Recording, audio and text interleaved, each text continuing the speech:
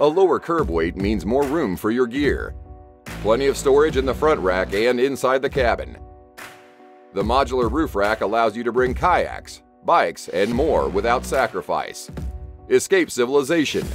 Wake up in the wild.